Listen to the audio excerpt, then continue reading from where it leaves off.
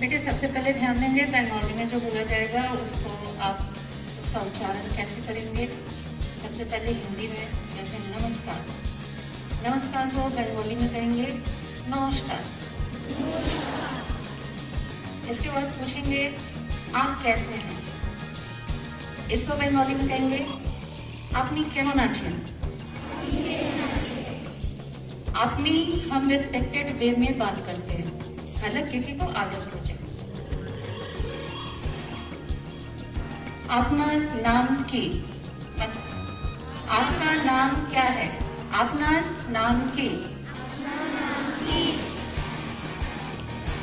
यदि आपको अपना नाम बताना है तो बोलेंगे, मेरा नाम सरिता है। यहाँ जैसे लिखा है।